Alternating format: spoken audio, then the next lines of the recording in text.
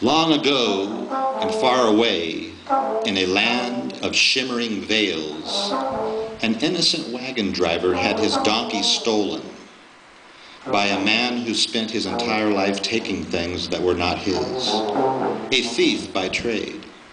And this thief harnessed himself to the wagon so that when the innocent came into the barn, the thief told him that he was indeed the donkey, released, recently released from a seven year hex. And the innocent was happy for him and went to the market to find himself another donkey.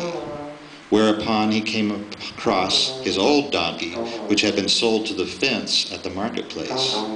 And the innocent chastised the poor donkey for having gotten himself hexed again.